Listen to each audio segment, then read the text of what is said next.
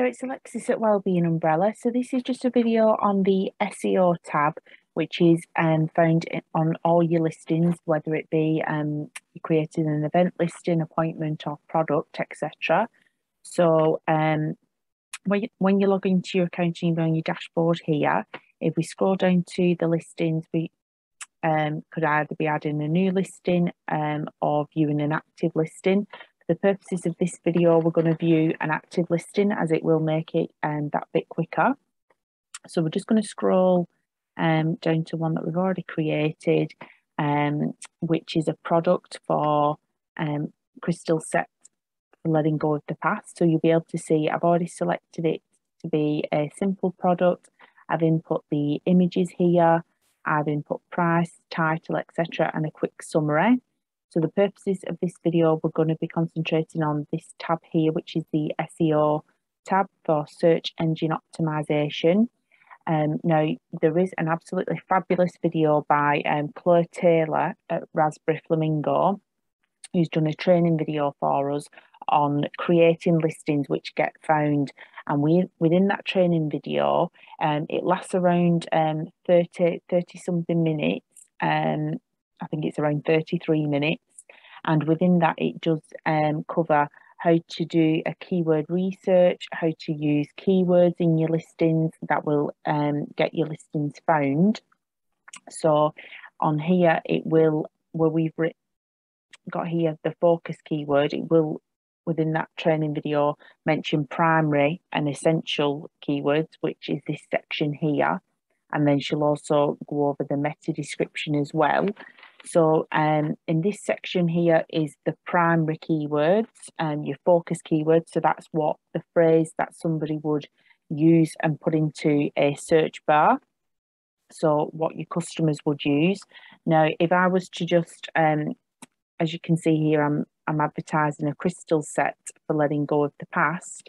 However, if I just put a um, a primary keyword as crystal set, you might um, imagine there is hundreds, if not thousands, of um, online distributors who are advertising for crystal sets. So I need to be a little bit more specific as to what I'm advertising on my listing. So this um, crystal set is specific for letting go of the past. So I've um, made made that keyword so it's a lot more niched than just a crystal set. And then within the meta description, we're wanting to use our focus keyword or our primary keyword. Now, this only needs to be um, one or two sentences at the most. Uh, it is to keep it brief. Um, and this describes your product um, or your listing rather. And that should also include as I've just said, the primary keyword, um, as it's essential that it is included within this meta description, that your primary keyword is included.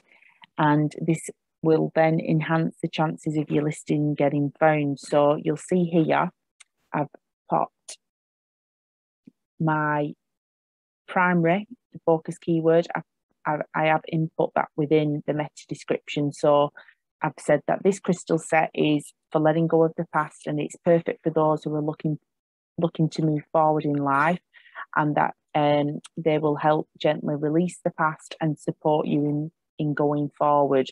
So it's just to show you where this meta description is actually displayed within a search bar. So as you'll see here at the top, I've put crystals for letting go of the past. And then if we scroll down here, these sections here so where it's got um, crystals for letting go of the past, releasing the past is associated with earth and root chakras. This is the meta description of what um, of how it'll show in a search bar. So, like we said, it does only need to be um, one or two minutes. Uh, sorry, one or two sentences, um, but it is um, a fantastic training um, video that Claire has done for us, Claire Taylor on the Help Centre. If you just scroll down here and you went um, over to the Help Centre there and just clicked on the Help Centre, you will um, find Claire's video within that. And it's definitely worth a watch. Like I said, it's just over the 30 minute mark. So um, I do hope that you've found this video useful and thank you for watching.